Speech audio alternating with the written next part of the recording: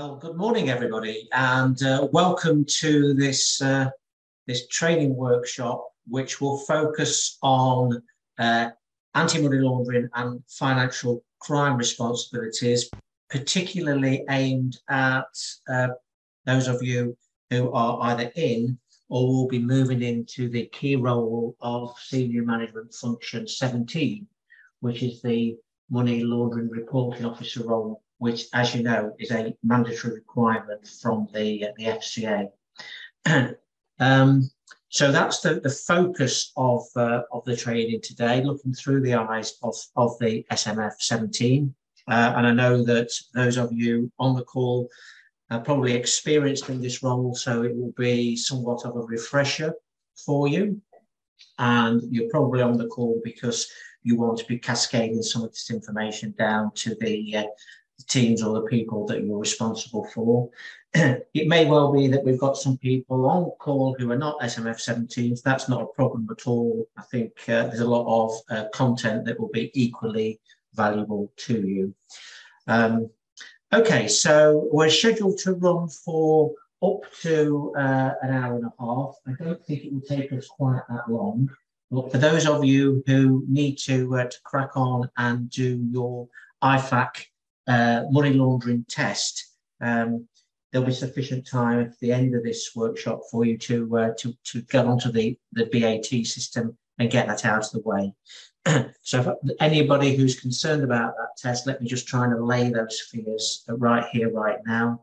Um, I'm confident that everything that you need to know and understand in order to be successful in that particular uh, test, we were going to cover today in this training session in uh, in full. Um, I went on to uh, to the, the system yesterday evening, uh, did the test just to make sure, uh, and I'm very comfortable that we're going to get you all into a place for those of you need to to be successful in that particular test. So, without any further ado, let me uh, let me crack on then, and let's begin as usual by looking at what we're looking to uh, to achieve today. Um, by way of learning objectives. So as I said, really, we're going to look through the eyes of the SMF 17 and understand really what the responsibilities and accountabilities are uh, if you're fulfilling that role. and then just broaden out from uh, money laundering into kind of terrorist financing legislation as well, which, as you'll see as we go through the uh, the training, the uh, the government and the authorities have, have, have, kind of aligned the two. They've brought these two together because there was there was overlap. Then just a refresher, I'm sure, on customer due diligence and enhanced due diligence, what the requirements are, and again, just refreshing our memories on things like PEPs, potentially exposed people. And then looking at how we uh, might start to recognize uh, elements of suspicious activity, what might be some uh, particular trigger points, not necessarily for, for you in your role, but how you can educate the people that you're working with to, um, to spot maybe some clusters that would uh, lead them to report, report it to you in the first instance. And then just at the end of the workshop, just broadening right out from AML and terrorist financing into a, an overview of some of the other financial crime offences that really, when you're sitting in, in your role, it's helpful to, uh, to just have a, a, a, an understanding of, a working knowledge of. So that's kind of how the uh, the training is structured. That's the um, the track we'll be following. So, as I said as part of my uh, opening comments, really, uh, you must, uh, anybody working in financial services, in the advisory space, it's not optional. The FCA said that there must be a money laundering reporting officer. Yeah.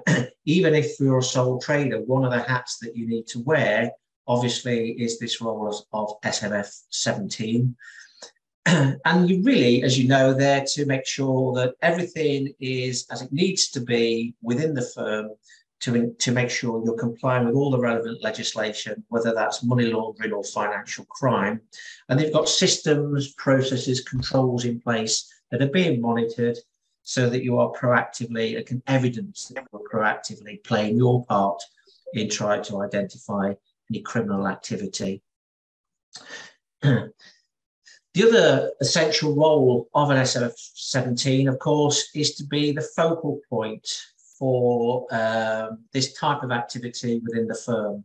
So basically, you know, when it comes to money laundering, in the first instance, if there's some suspicious activity that needs to be reported, obviously a member of your team comes to you as the MLRO in the first instance. So that must be kind of clear to everybody. And as I say, you're you're really giving oversight on behalf of the business.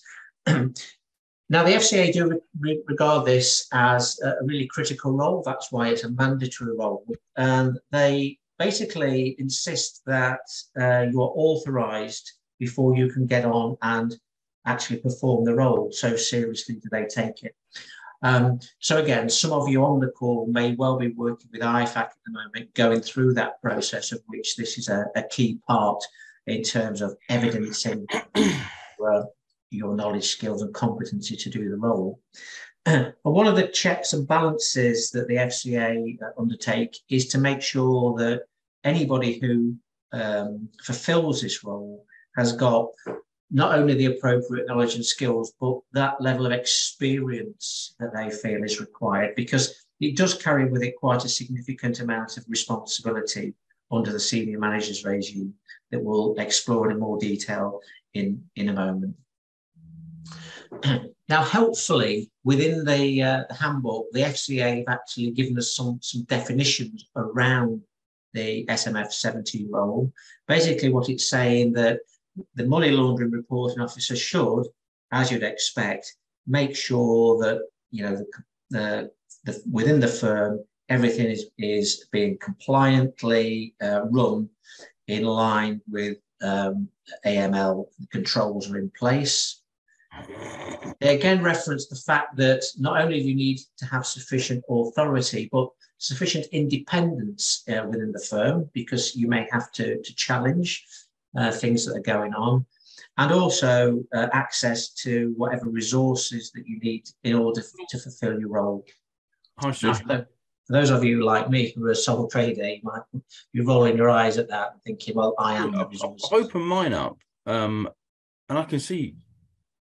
Oh, hang on. Okay, let me just. Okay. Sorry about that, folks. I think somebody's corrected themselves in terms of, uh, of muting their microphone there. uh, also that, you know, you've got uh, sufficient uh, MI, uh, dashboard, uh, reports and access to them that, that means you've got sufficient um, information and data, MI, to carry out your role. And again, link into this expertise and experience point that you can deal with the information. So you've got that capacity uh, and experience to deal with that and exercise your judgment if you receive information or suspicions of money laundering. You're also uh, obliged by law to report any suspicions of uh, money laundering, as you know, to the National Crime Agency, and we'll look at that in more detail in, in just a moment. so again, I'm, I'm conscious that for a lot of you on, on the call, this will be a refresher, but you know, SMF 17, this all, was all brought about by a change to bring about senior management function roles into the advisory space. We're all used to that now. We kind of came a little bit late to the party after the big banks and insurers, but it's kind of well embedded in our firms now. so as you know, every SMF role, of which 17 is one, we have to have a statement of responsibilities which just frames what the role is, what the accountabilities are.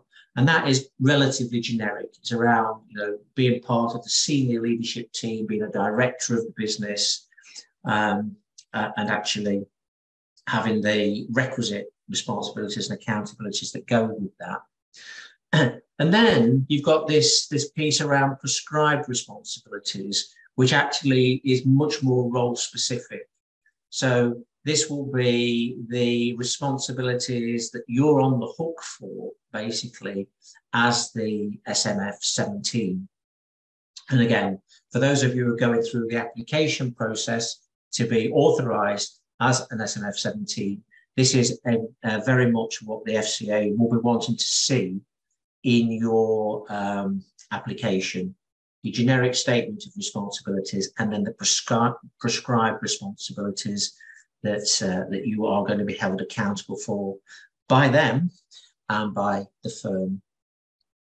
Because because you ultimately have a duty of responsibility so if for whatever reason the firm breaches the FCA requirements around money laundering in this particular case or wider because of your statement of responsibilities, then both the firm and your good self as the accountable individual will be uh, will be responsible for your kind of uh, judgment and behaviour to uh, to the FCA. So that's why they insist that uh, the individuals who fulfil these roles have got appropriate experience, have got all the right knowledge and skills to be able to execute the role, because with the role comes relatively significant kind of responsibilities and accountabilities. now, the FCA will never be prescriptive, as you know. If, uh, if, you work them for any length of time, they work on kind of principles.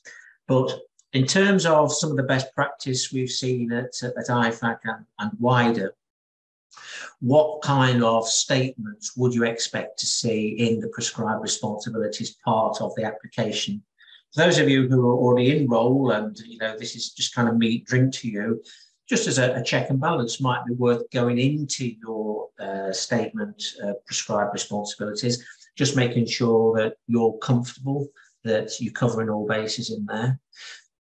so with no surprises here, it's all common sense stuff.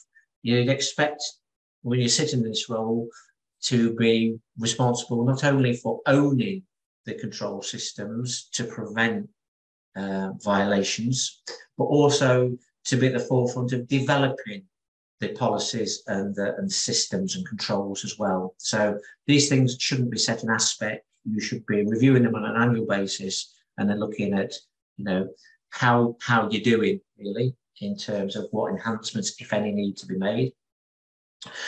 The other thing that you do, as I say, this one for me, all roads lead to you in terms of being the MLRO. So, you know, you need to take the lead on this. So, you know, you're giving management across to the senior management team, across to your fellow directors uh, in terms of the latest uh, developments and any changes that they're coming through, but also to be entirely confident that any people within the business, any employees, any staff, uh, any advisors are totally kind of cognizant of the need to um, uh, adhere to money laundering regulations uh, and what that entails, and importantly, how to report any suspicions that they might have.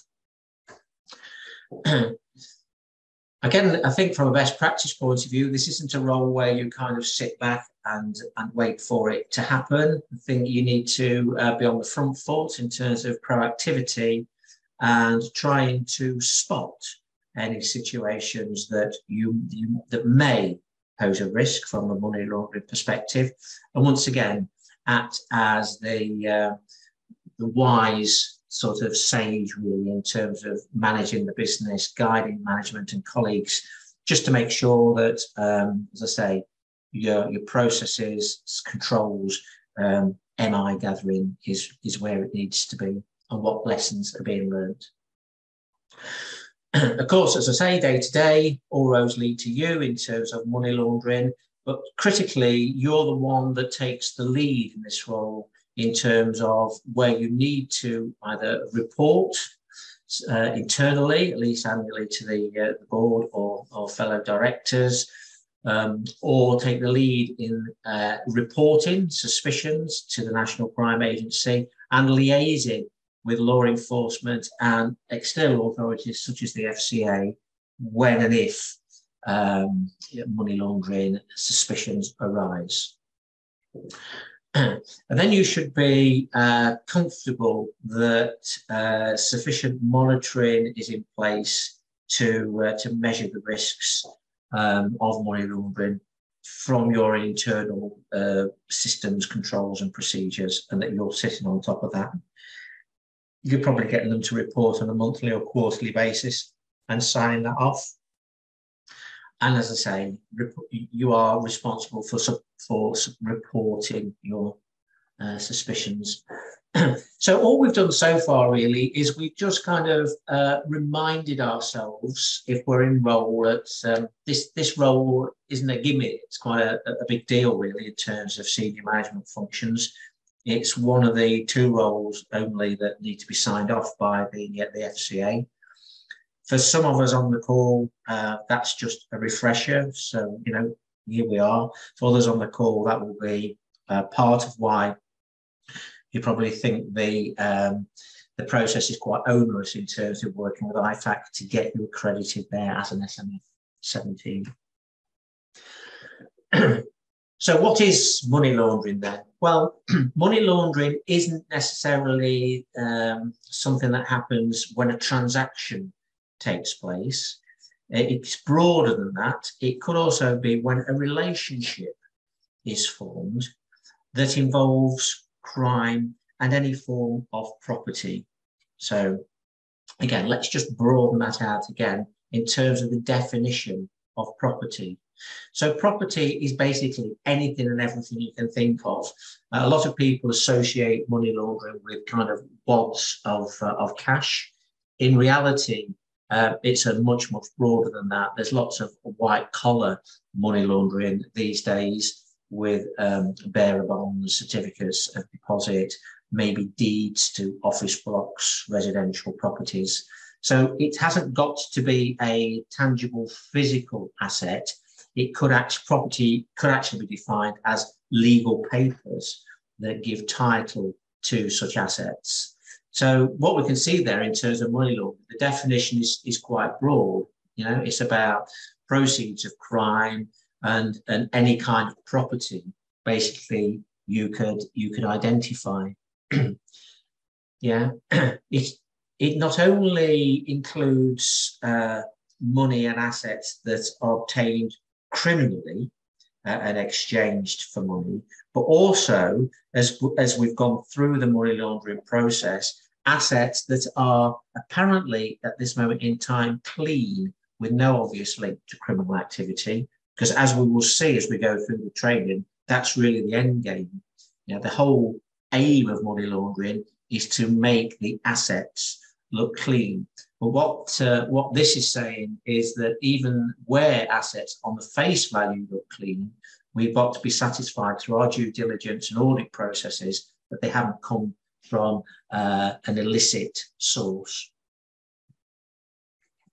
So started to talk about this then. Why bother? Why go through the process of money laundering? It's basically so that the, uh, the criminals can uh, get the assets into the legitimate financial system. Yeah, so that they can actually um, benefit from their kind of criminal activity and participate in the legitimate economy because not just our industry, but every kind of industry, particularly in the UK, we're quite strong in this uh, field. You know, gone are the days where you can really, you know, drop a whole wheelbarrow full of money down in a, in a car showroom uh, and drive out in a brand new car. You know, the dealership um, are unhappy to take uh, big, big wadges of, of cash. So they would expect that money to come from a bank transfer or by um, banker's draft or something like that. So, in order to drive around in your shiny German metal or whatever, you need to have legitimized the funds and got them into the system. Yeah. Same for the purchase of any other kind of asset that you can think about. Um, the whole uh, basis of money laundering is trying to clean uh, illicit funds gained from criminal activity. now, money laundering regulations have been around for quite a while now. I mean, go right back to the 90s and look at where we first came across some money laundering regulation. And since the 90s, a whole raft of legislation is followed. Now, the good news for you is, uh, particularly if you're concerned about the, uh, the test later as well, you don't need to uh, be able to recite the different uh, acts uh, and the dates that accompany them. but it's fair to say that that uh, Proceeds of Crime Act, POCA, 2002, is, is kind of still alive and well. We'll unpack that in a little bit more detail later on in the training. but as you can see, formally introduced money laundering regulations specifically uh, in 2007, but then subsequently it's been broadened out to include uh, terrorist financing as well. Uh, and that the latest act that we're all uh, living with at the moment was the uh, money laundering and terrorist finance regs, which came into force in January a couple of years ago.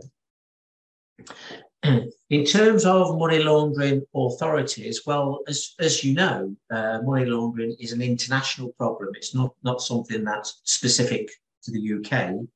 And given where we are with technology these days, it's very easy to flow funds across uh, geographies, across international borders, through different com- countries. Therefore, uh, the international authorities um, have, have created. So this is kind of big uh, developed nations, if you like, and have, have put together something called a financial action task force, which is uh, uh, you know aims on an international front to uh, identify and stamp out money laundering, um, which it's doing kind of with mixed success at the moment. In terms of the UK, the governor of the Bank of England actually sits as a member of that international regulator. So you can see that we do take it extremely seriously in this, uh, this country. In the UK, the main regulator of money laundering is, is the FCA, uh, and it takes its guide from notes published by the Joint Money Laundering Steering Group. Again, and that group is made up of uh, high profile figures from within financial services industry.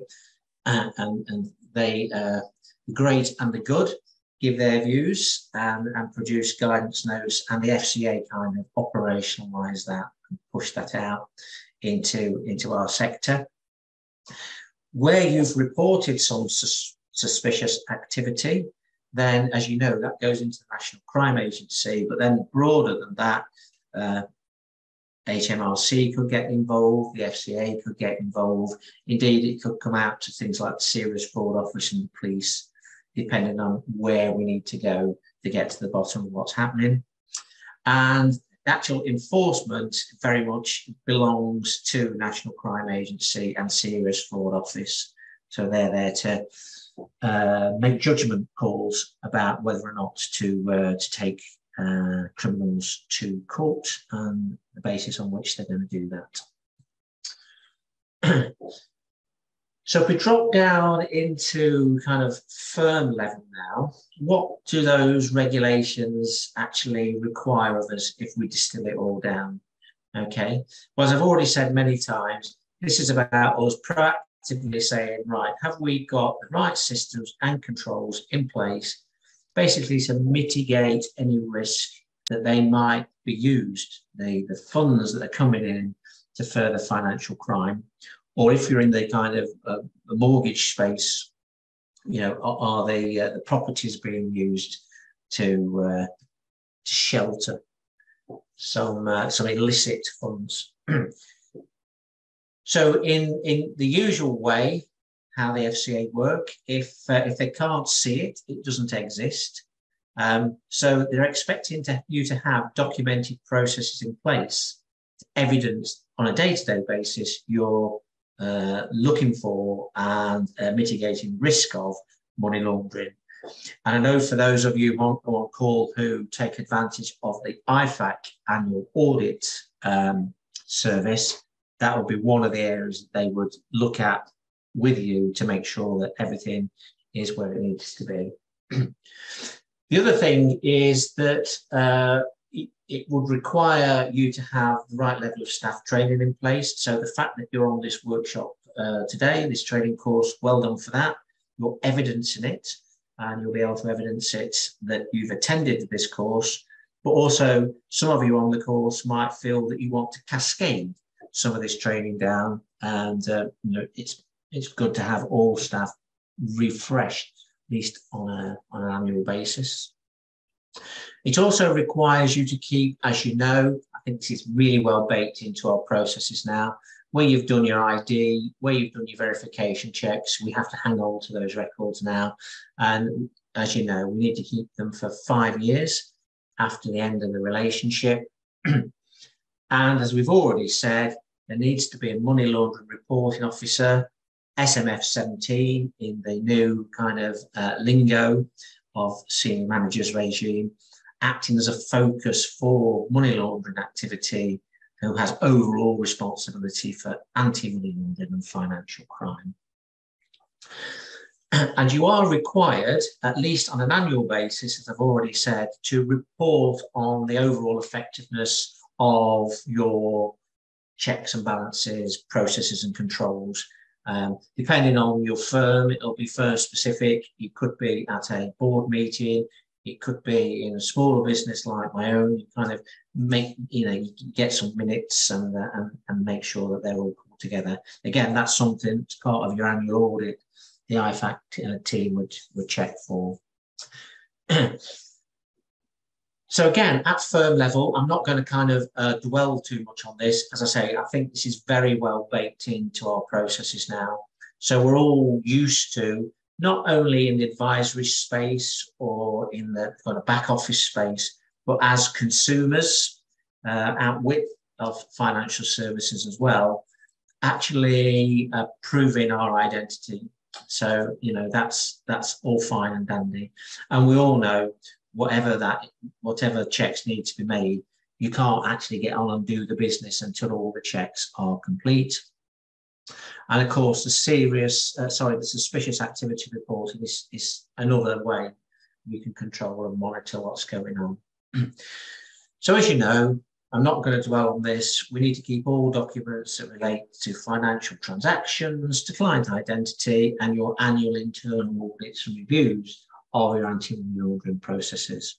Uh, and they should be uh, in, in a state where uh, anybody could come in and, and look at those and you could evidence that that's working.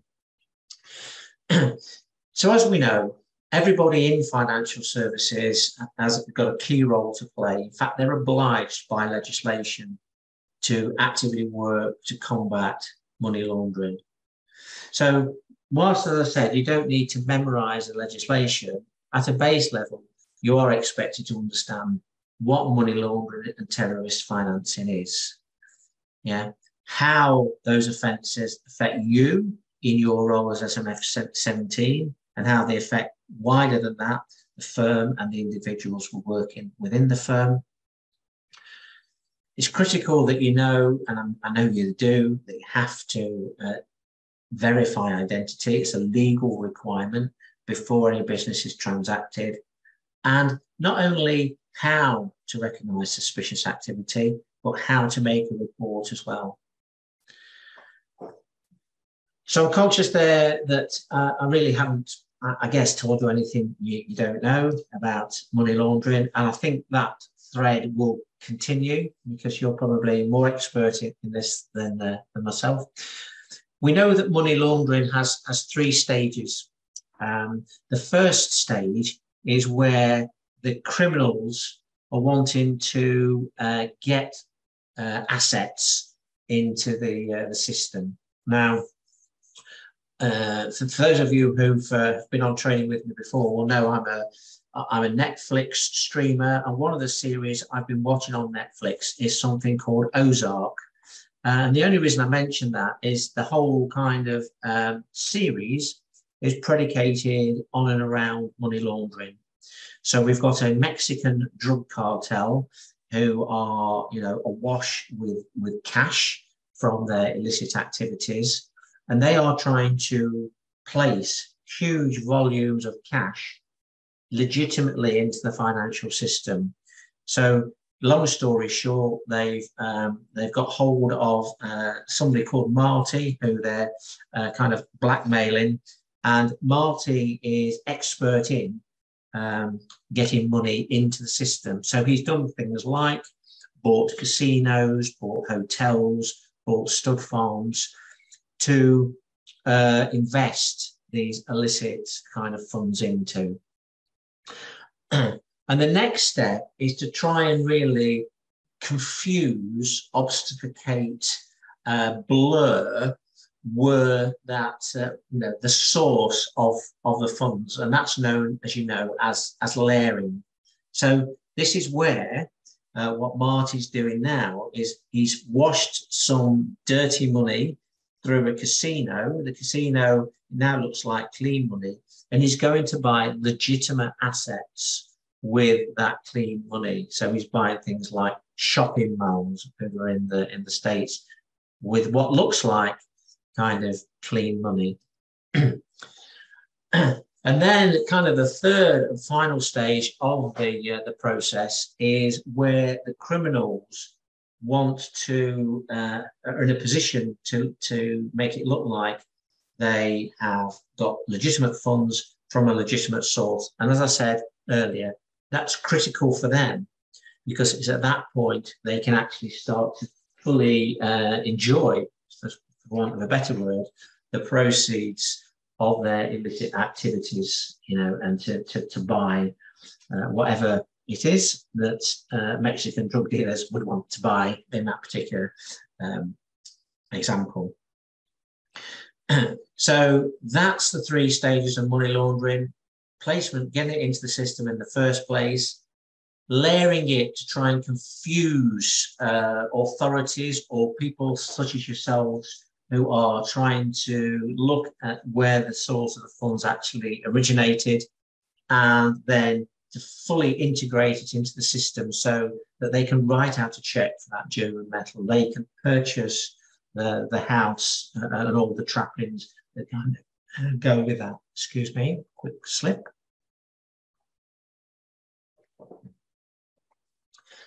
Now, I said we would come back to the, um, the proceeds of, Crime Act as we were looking through, um, because the proceeds of Crime Act actually started in the first instance to introduce some money laundering offences and to suggest some uh, some punishments that would go with these offences if people were, were found guilty of, uh, of being associated with any of these. Again, for the vast majority, if not everybody on the call, I'm sure this is just a refresher. So as you know, we've got tipping off, assisting and failing to report, and we're going to just unpack each of those in a little bit more detail now. so as you know, tipping off is where a person um, actually, even if it's inadvertently, uh, informs somebody who is suspected of money laundering that they may be under investigation. Yeah.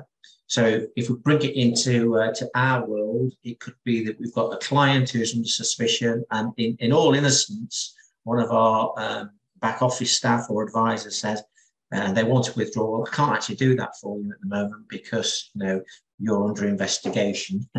um, that would uh, that would not be good, even if it was inadvertent. That would be a, a tipping off offence, and and that uh, would uh, trigger potentially, depending on the circumstances, a custodial sentence of up to five years, as well as an unlimited fine. Yeah, and that fine could be levied on both the firm and the individual. The other and much more serious uh, offence in the eyes of the law is if you are involved in uh, assisting criminal activity because you are uh, complicit in trying to convert or, or, transfer money. So you're in that kind of uh, integration, uh, layering phase of the process, and you're working with criminals, trying to conceal and disguise that obviously that makes you much more complicit, even if you're acting uh, under duress. Uh, and, and, the custodial sentence uh, reflects that because imprisonment there moves up to a maximum of 14 years, as well as the unlimited fine. and then this is one that I say uh, should should never happen. It's uh, it's almost like a, a, an optional one, failing to report. So if anybody ever has any suspicions, and this is, I think, is a key point that you have to get over to your staff, yeah, even if you just suspect that money laundering is is occurring, then always better to report it and give somebody the benefit of the doubt, yeah, because if you fail to report, you too could be drawn into the, uh, the investigation, and once again, just as with tipping off, uh, that could result in a custodial sentence of up to five years, as well as an unlimited fine. okay, so in that last section, all we've done really is we've looked at the definition of money laundering. We said it's quite a broad brush piece. It's not just around assets, it's about relationships as well. And we've said the definition of assets is actually very wide. It hasn't got to be something physical. It could be something like um, uh, deeds, it could be uh, anything paper based that says you're entitled to hold assets. we had a quick look at some of the overarching legislation and then we sort of looked at what that meant for firms. And then we've just had a look at the three uh, elements of money laundering. And then we've looked at things like uh, tipping off, etc., and the um, sentences, the custodial sentences that go with that. So that should all be very uh, familiar ground to uh, to everybody, and I think this will continue in that vein in terms of uh, familiar ground. So we're going to start to take a look at customer due diligence. Let me tick.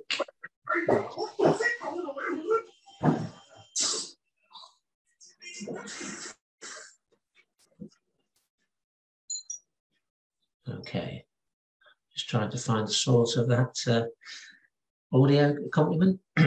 so in terms of uh, customer due diligence, um, four main elements to uh, to this. This is about you and your your teams having the the radar really. so in terms of consumer or customer due diligence, um, you know, this is a judgment call, really. You have to make a risk assessment based on your knowledge and understanding of the client, the source of the funds, and um, the uh, environment in which uh, you're operating in to determine the level of due diligence you require, whether it's the standard or whether you need to go for enhanced due diligence.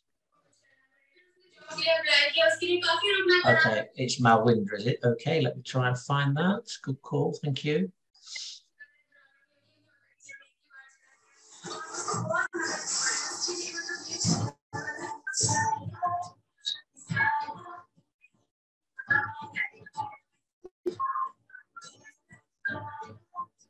Excuse me, ladies and gentlemen.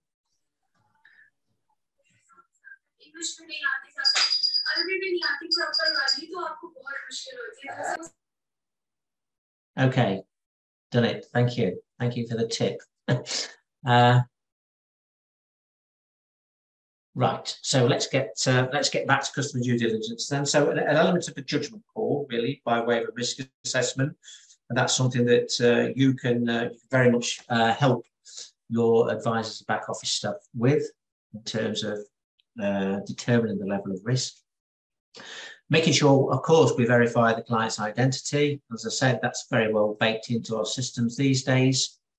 For those of us who work in the advisory space or uh, and your advisors, it's about when they're going through the fact find process and, and doing all the uh, know your client piece, just being aware of anything that might um, you know, words of music not being right may give rise to suspicion.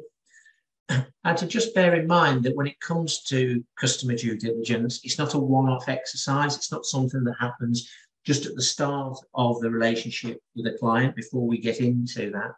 It was something we need to be cognizant of ongoing throughout the client journey, client relationship, at the different touch points that we have with them. Now, as part of that risk assessment, you may feel that you need to do some enhanced uh, due diligence because, for whatever reason, you deem the business is of higher risk. It could be something as, as simple as it's happened a lot, COVID and post COVID, where we're doing uh, business uh, virtually sometimes, and the client isn't physically present. So it may be that you want to do additional verification checks around identity, address, etc. And always, always, where someone is regarded as a politically exposed person, then you do definitely need to do enhanced consumer due diligence. so, as you know, if you move into that because you've deemed it to be a higher risk, you have to do one or more additional checks. And again, I'd say at least one, dependent on the case, it'll be case specific. You may feel that you want to do more than this. So you'll need to do some additional identification checks.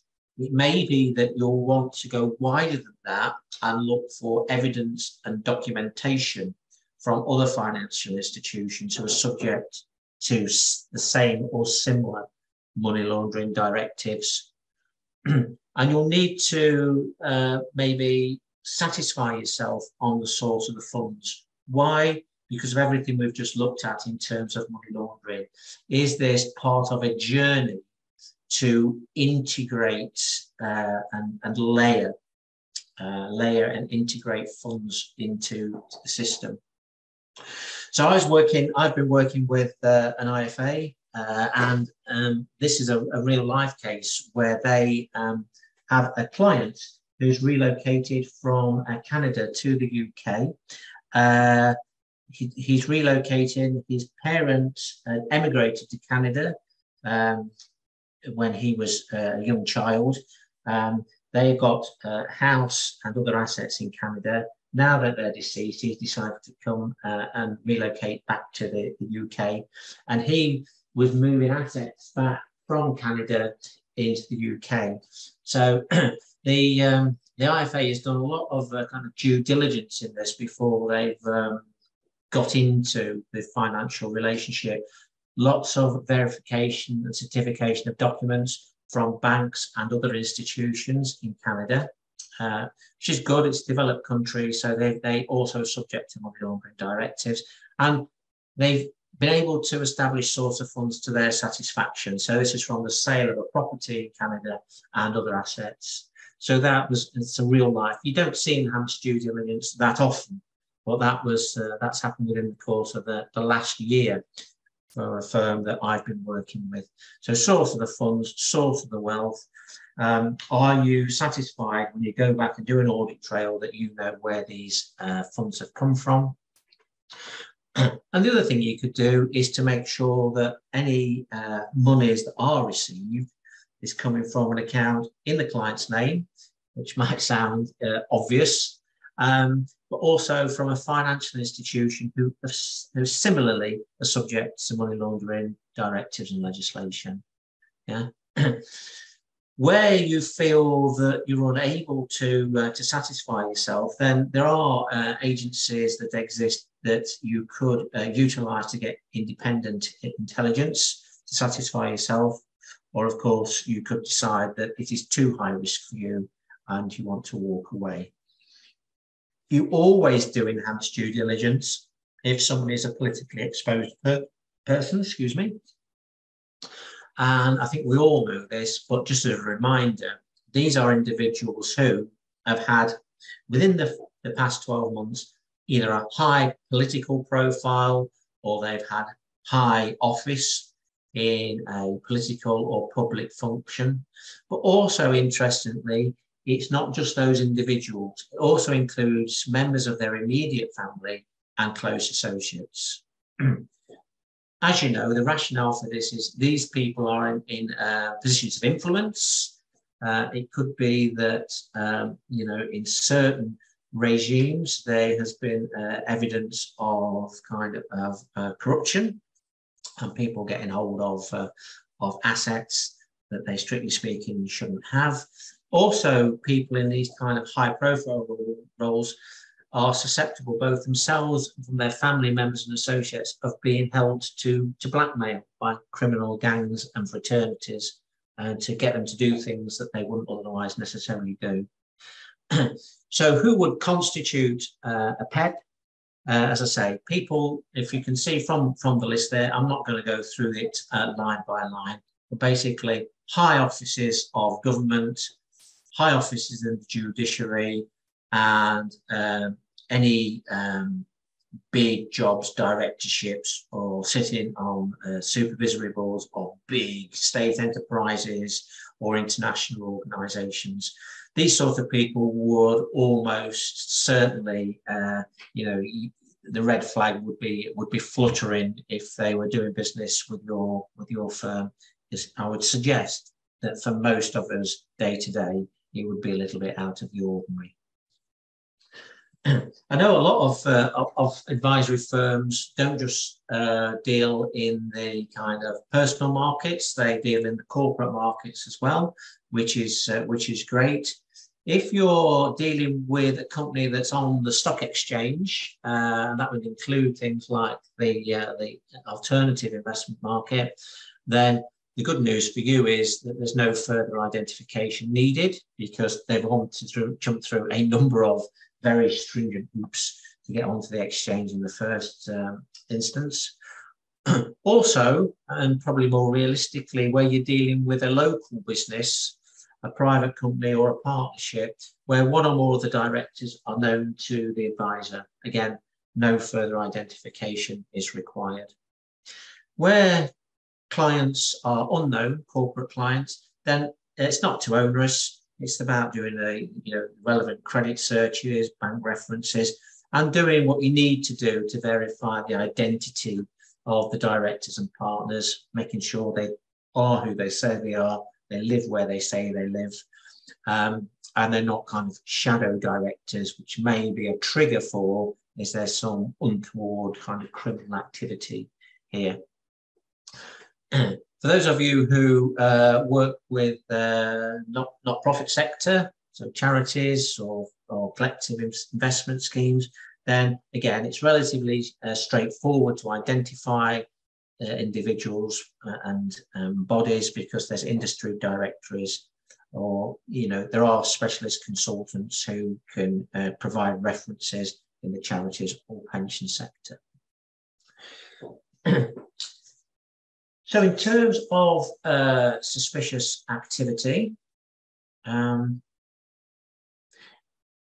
yes, uh, good question. Uh, listed companies on the European Stock Exchange would be similarly covered because uh, you know they're they're regulated in a similar way. This is something I think in your role you can really um, help your your firm with, particularly those in the uh, kind of the advisory space or the back office space, paraplanners or back office who are involved in some of the processing activity. so none of these is kind of set in stone. They're just markers and indicators that as part of your training and education of people in money laundering, you can just kind of bring it alive and make people aware of. Yeah. so in terms of suspicious activity, you know, it's a people business that we're we're in. If you know we're so used to uh, to getting ID and processing ID and, uh, these days, if anything doesn't look right, then uh, you know because it's it looks like it's been fraudulently obtained or it's not actually theirs, um, then that should should ring some bells. Yeah, we all know there's there's a kind of a a flow, a rhythm to uh, the process, the advisory process of the initial meeting, probably moving into a fact find, and that two way exchange of information. If a client, for whatever reason, seems to be unwilling to provide relatively basic information, very secretive, yeah, that again, not saying that's a, a gimme in terms that there are money laundering activities going on, but again, it's about building a picture why would they be secretive? What are the underlying factors there? Is it something that I need to be worried about?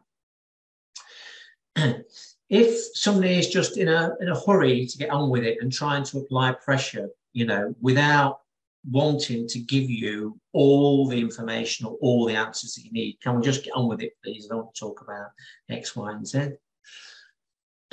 or if they're asking or trying to encourage you to do something that you know, again, it doesn't follow the normal kind of flow and pattern. It's not part of how we normally do business. They just want to crack on with it. And you know, money laundering is uh, requires kind of consistency because if people are uh, not giving the full truth, it's easy for them to trip themselves over. So they might be inconsistent with the information that they're providing. They might contradict something they've said earlier because they've forgotten what they've said.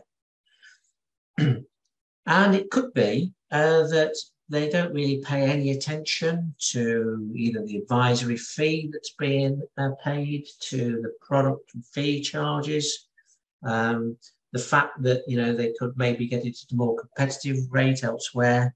Um, all these things from a people perspective may alert you to uh, to the fact that there might be something untoward going on. Combine that then with uh, suspicious activity around transactions. So this could be unexpected changes, last minute requests, um, asking you to do things that don't appear to be in line with their risk appetite or they've given you what their long-term objectives are and they're now asking you to make transactions that are are uh, not congruent with that. So somebody's put quarter million quid into uh, an investment bond, and, and, a month later they're trying to take 50, 100, 150 out, you know, uh, and the market's gone down, blah, blah, blah. So why, why is that?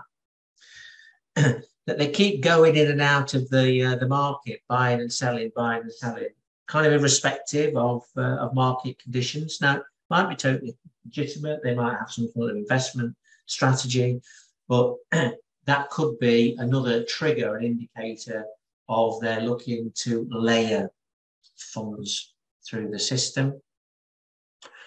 And the source of funds is coming from lots of different sources. So, you know, some people have, you know, a, a, a handful of different accounts, but if, if money seems to be coming in from all sorts of different places, that again might be a trigger. And for those of you who work in the uh, mortgage space, you know, have you got um, evidence from the mortgage statement that you know there's lots of uh, capital redemptions going on, money going in, then they might have a further advance and take money out. You know, similarly with a bank statement, is a lots of in and out. Is a can you match them up? and is any funds flowing from countries where on face value, the client doesn't have any known connection. So this goes back to my um, comments about money laundering is an international business these days. So as some money flowed across into the UK to this individual, and they're now trying to get it into the system. And again, maybe cancel investments uh, quickly, uh, asking for a refund of contributions. So that's people, transactions. Also, similar to the, the, the people part, really, but is there no legitimate relationship for reason for the relationship? So, you know, I, as an IFA, would be very uh, wary if I was based, uh, I'm based in, uh, in Gloucestershire, if somebody up in Cumbria contacted my office with a view to doing business with me as an IFA. Know, why does somebody in a totally different area want to contact me out of the blue and do business with me? Might be totally legitimate, might be relocating, they might have relatives here, whatever. Not saying this means they're money laundering, it's merely a flag or a trigger that you uh, would sort of arouse, I would suggest, some sort of suspicion. Is there something unusual or not quite right uh, with the kind of activity that's uh, that's happening compared to what you know about a client you know? So on face value they've told you they work nine to five in office but they're frequently spending long periods abroad uh, you know and there doesn't seem to be uh, be a problem in terms of the amount of time they're taking out is there any element of um, sub subterfuge really? So who's really in control? This uh, is more to the fore for those of you who work in the corporate sector where there might be shadow directors or people behind the scenes maybe pulling the strings and they're really in control. Do they hold offshore accounts? Are they purchasing things through offshore trusts? and entities that don't kind of make sense. As I say, when we're in the advisory space, things tend to follow a pattern and rhythm. And, you know, we get familiar with, with a typical type of arrangements people in certain situations have in place. So, in your professional opinion, do the arrangements seem much more complicated than they need to be for the business that's being transacted? and is there a, uh, a desire to try and bypass or leave out information from your kind of standard procedures? The other area that might uh, prompt some trigger points is, again, where you know some facts about a client. Yeah. One of the things we, we're privy to in our space is knowing an awful lot about our clients in terms of their incomes, their assets, etc. Does their uh, possessions kind of tie in with what we know about their income and background, or do they seem disproportionate? Somebody's telling us they work in a role that's paying national average income, and yet they're riding around in an S class Mercedes Benz, own a property that's got, you know, 12 bedrooms and en suites. Does, does that all tie together? Now, it might be totally legitimate because that might be a result of a legacy. So I'm not saying once again that these things mean they're money laundering. We must do our due diligence and enhance due diligence to make sure that we're comfortable. do they have seem to have access to funds that can't be explained either from their business activities, from their occupation, or from their family connections. Do they hold assets in the business which seem to serve no purpose in their normal trading activities? So does anything stand out there to say, you know, you're a you're a corn merchant, you know, why do you have this as, a, an expensive kind of computer system that uh, find you subsequently sold? Are you holding assets in somebody else's name, um, but it's clear they control and enjoy the benefit of them?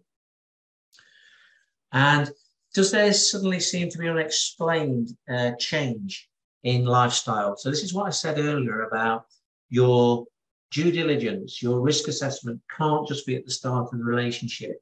So if as part of the client's uh, relationship you have, there's suddenly an unexplained uh, increase in spending, they've suddenly got money that they want to invest, the financial position suddenly changes, they're moving into you know much more expensive house, etc. What's going on? Why why is that? And you know, they've suddenly taken on a huge mortgage and the affordability of that doesn't seem to match their circumstances. How can you explain all of that? So if we put that all together then in terms of our due diligence and enhanced due diligence and looking at those four areas that might trigger us to be uh, suspicious, it may well be that that prompts us to trigger a suspicious activity report. Yeah. Uh, and this is something that um, you will actually be doing. As you know, these days it's actually done online to the National Crime Agency. so because all roads lead to you, you need to make the report. Yeah. So this is what your your team, your staff need to know that if they want, if they've got suspicions, they come to you in the first instance. You might well want them to put something down in terms of your own internal report so that you can have a look through that, raise any questions with them, and decide what you want to do. Could be that you decide not to make a report because you're happy that you can validate the uh, reasons why uh, and, and alleviate suspicions. But what you will be saying, as you know, to the member of your team is you're not allowed to do anything until I get back to you. So you'll have a look at that and you'll decide upon the course of action. If you do decide that this uh, merits uh, reporting, then of course in it goes to the National Crime Agency using the uh, using the system there, and at that stage, there's a, uh, a box that you, you tick, and basically that's asking for consent to continue with the advice. That's absolutely critical if you think about it, because one, this might be in all innocence, but until it's been fully investigated by the, uh, the relevant agencies, we won't know. Uh, but also, uh, more importantly, uh, it could trigger uh, an alert to the criminal the criminal activity that uh, you know somebody's onto them. so the National Crime Agency will assess the report. They'll come back to you if they need any more detail, and then when they uh, um, make a decision, if they want to pursue it, they'll pass details to the police and other investigating authorities. Yeah. 99 times out of 100, the NCA will really want you to, um, to continue with uh, providing advice. Um, but don't worry, because at the stage that you've reported your suspicions, you've kind of covered yourself, you know, you've uh, reported your suspicions so the firm and yourself is going to be uh, clean in terms of that. Where the National Crime Office need more information, they'll serve a court order to get all relevant parties to produce information. The thing to really bear in mind, and this is key to kind of remove any concerns that your team might have about reporting money laundering, that if subsequently a prosecution ensues, then uh, any names and the evidence in terms of the your suspicion report will not be revealed in court and you won't have to go to court yourself either. So that's kind of the protection that you've got under the Proceeds of Crime Act. It's what it's saying is you've discharged your obligations by reporting suspicious activity. Investigations have, have subsequently revealed that there's a case to answer here, but you're not going to get dragged into court or to have your identity revealed. So at that stage, what we've done is we've actually covered the key components of money laundering. We've looked at things like uh, due diligence, enhanced due diligence, who is a politically exposed person. Then we've looked at four areas where you need to be cognizant of that these could raise flags and triggers, which may lead uh, your team, your staff to report to you as SMF 17 for you to exercise your discretion and judgment about whether or not to report it and then how to report that on. What we're going to do now for the next uh, few minutes is to just broaden away from money laundering and look at financial crime in the round. Again, something that is very useful to you to, you to, uh, to know. So the Financial Services and Markets Act 2000, good old FISMA, defines financial crime as anything that involves fraud, dishonesty, misconduct or misuse of information, i.e., insider dealing, with either handling the proceeds of crime, even inadvertently. and in terms of financial crime, you know, you're sitting on risk every day in day-to-day activity. Um, you could be um, uh, at risk of embezzlement. Um, you know, that still does happen. I was reading the uh, press just the other month, and uh, Barclays uh, cashier had uh, embezzled a uh, six-figure sum by uh, taking money from a variety of different client accounts. Could be that your customers are giving false details. Harder to do these days with all the identity checks, but again, you know, it might be something that they've got hold of some fraudulent ID, so you need to be alive to that risk the thing we've been talking about for the, uh, for the last hour about you being targeted by uh, criminals to uh, to even inadvertently be part of their plan to get money into the system and, and launder it. it's where you again inadvertently are being targeted to try and uh, pass funds through to, to finance terrorist activity. Um, it also, as you know, goes through things like uh, data, data processing. We do a, a, another workshop on the requirements of GDPR, data, Data Protection Act, and all that kind of good stuff, which makes for workshop in its own right, which includes identity fraud. So it's not just money laundering when you sit in this role. There's a whole kind of wider uh, gamut of uh, legislative and, and risk factors that you need to be aware of. In terms of some of the, uh, the key legislation, again, you don't need to, to know this, but I just think it, it's, it's important for background that people in such a senior role as SMF 17 are cognizant of. So the Criminal Justice Act, right back in 93, actually for the first time uh, recognised the offence of insider dealing uh, and, you know, made, made that a criminal offence. We've talked a few times now about the Proceeds of Crime Act, which, which introduced criminal sanctions for money laundering activities, including, you know, failing to, to uh, report and tipping off and all that good stuff. and then the Fraud Act, actually, we are caught by that because, you know, if uh, we could be uh, held to account by failing to disclose information uh, that uh, is about fraudulent activity, or we could be on the end of fraudulent activity. we also need to be cognizant of things like the Bribery Act, because, you know, uh, with money laundering activity, it may well be that the criminal would like to try and bribe their way into the system, be able to place funds. So be cognizant of, of that and avoiding it and not inadvertently cross the line ourselves.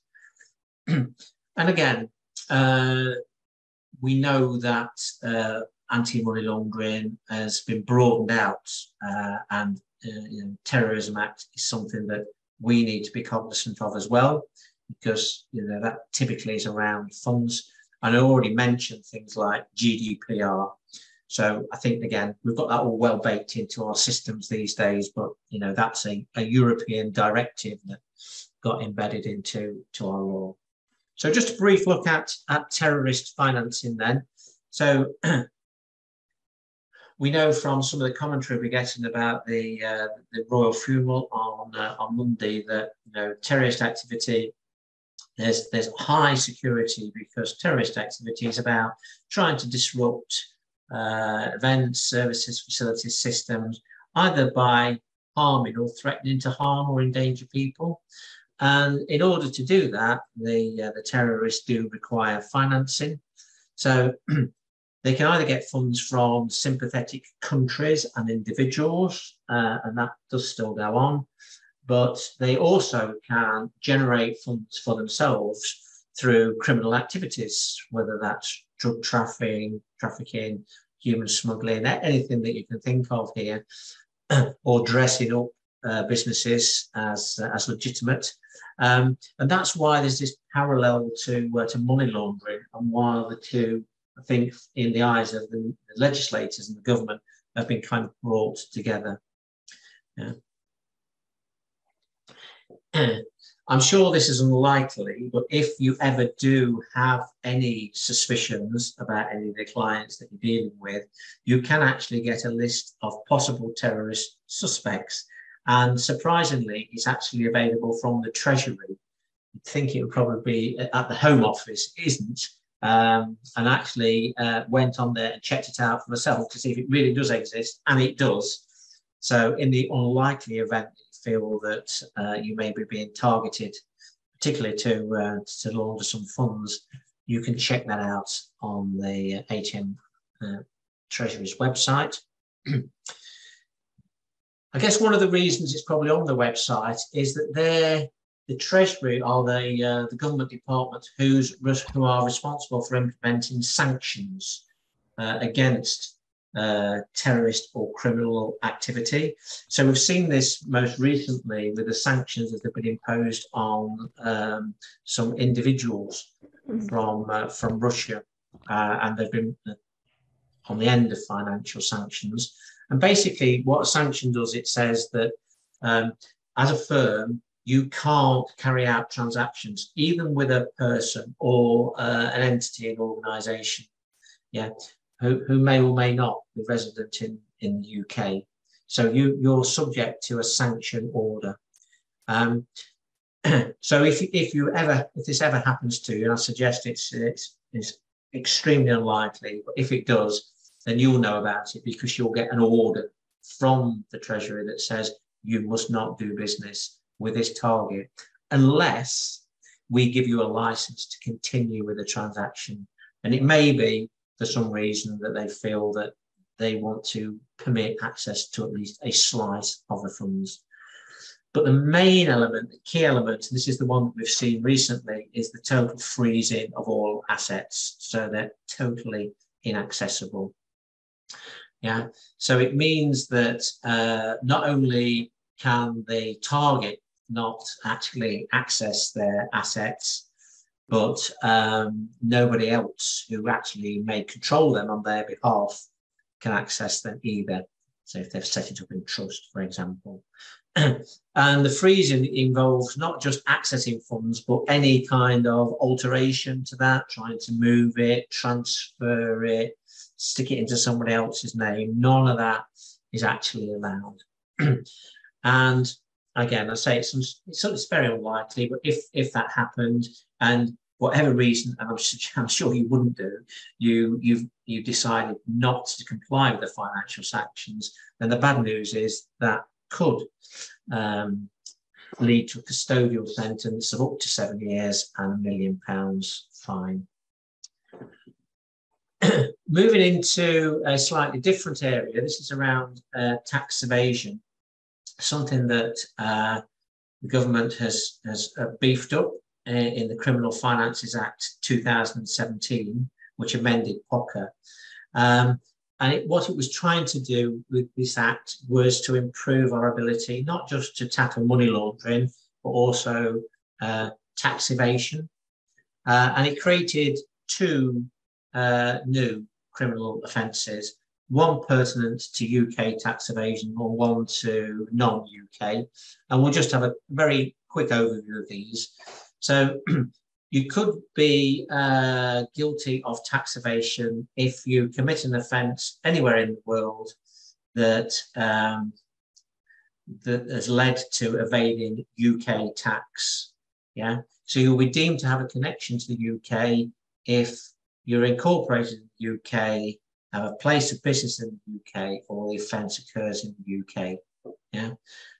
so this is this you could fall foul of this if you're dealing with a corporate entity uh, or an individual who, for whatever reason, has decided to evade tax, uh, and you have inadvertently uh, become culpable in that. um, where tax, uh, where, where those criteria don't apply and tax evaded is, is not in the UK, um, then that liability will only apply if, a, if an offence has occurred when there's a UK uh, connection. And I suggest this is kind of quite uh, esoteric, really, uh, unlikely on a day-to-day basis, something that uh, you will have uh, any experience of. in terms of, of, of, bribery, yeah, as you can see there, the, the, the, definition in the Act is an offer or receipt of financial or any other advantages. So it needn't just be hard cash. It could be if you do this, you can be the chair of this body, or you can have this uh, this role or whatever. Some sort of inducement that's trying to compel you to commit some sort of um, dishonest or trust breaching act. Yeah. The key thing about bribery is you don't actually have to receive anything. You could have just received an offer. And that's what the Bribery Act said. It's, um, it's either the offering or giving of a bribe receiving or agreeing to receive. You don't need to actually actually benefited from it. You're just given kind of a nod, even inadvertently. Trying to bribe a public official, or again, this is your role. You failed to prevent bribery being undertaken within the firm. now, again, suggest it's extremely unlikely. Cover it for thoroughness because money laundering you know, it's something that maybe um, people are susceptible to being bribed about.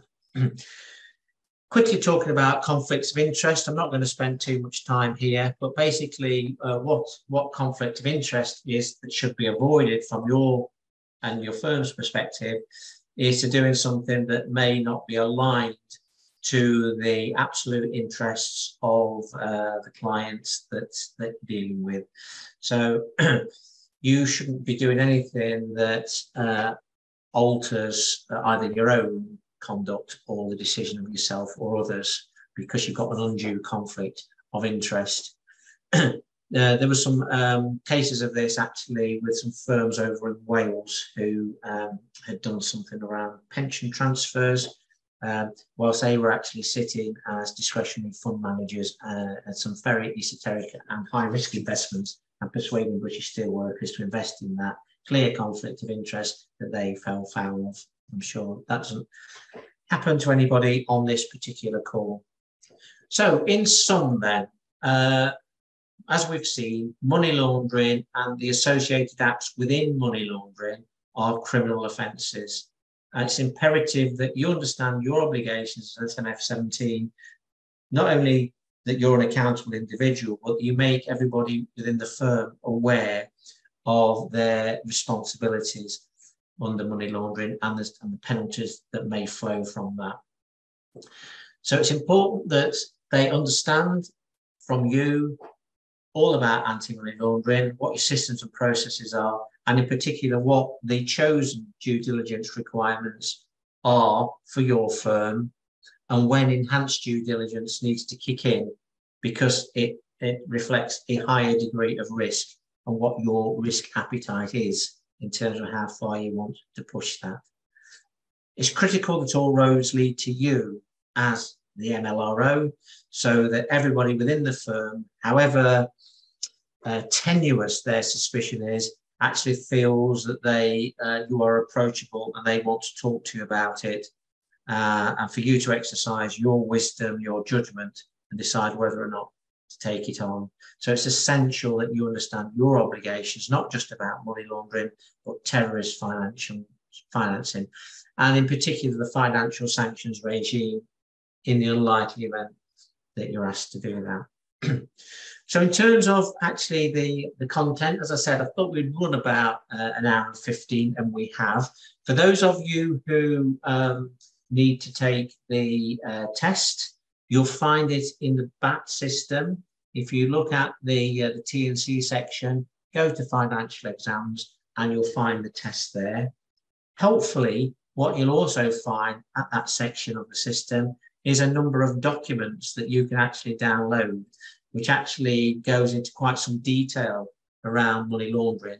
So even if you haven't got to do the test, it might be worth going into the system and drawing down those uh, those documents and having them in your file, and they could form the basis of a, of a good training session with your staff. so at the start of the session, we said we'd look at the uh, responsibilities required of uh, an SMF 17. And we'd also have a look at things like prescribed responsibilities. So we lifted the bonnet on that. Yeah. we also said, okay, let's have a look at your responsibilities for compliance uh, and all that entails around both anti-money laundering and terrorist financing legislation. and we went into detail on what the process of we define money laundering, what the uh, elements of money laundering are, and everything that kind of flowed from that. We looked at due diligence and then, where applicable, enhanced due diligence, looked at who constitutes a politically exposed person that would uh, require enhanced due diligence, and then we looked at some areas that uh, might trigger alerts that activity was suspicious, uh, might flag concerns. And then if those concerns kind of crystallize, your role in being the focal point on it, how your team, how your staff report that to you, and what you would need to do in terms of reporting it onto the National Crime Agency. And then the final kind of 10 minutes, all we've done is we've just broadened it off for your awareness, um, you know, the breadth of financial crime offences that you just need to be cognizant of, really, uh, which will help you kind of mitigate risks within the firm. Okay, so finally then, for those of you who would like uh, a uh, evidence uh, by way of a CPD certificate, those are my contact details there. So you can uh, do a screen capture or a photograph or good old pen and paper and scribble that down. And I can send you a, uh, a CPD certificate for uh, an hour and a half. for those of you who need to um, to get on and do the test, I would suggest that you know nothing is uh, you know strike while the iron's hot. While all that information is at the front of your mind, uh, it will take you less than ten minutes to do the test. Took me uh, less than five minutes yesterday to do that test, um, and we've definitely covered all the information that we need there. Good. So with that in mind, uh, I'd just like to uh, thank everybody for, uh, for your attention. For those of you who've signed up to Consumer Duty next week, look forward to, uh, to seeing you on that one. Some, some new uh, content for us to get our head into next week, which will be fun. Uh, have a brilliant rest of the day, and I'll, I'll look forward to seeing a lot of you next week. So uh, bye for now, everybody.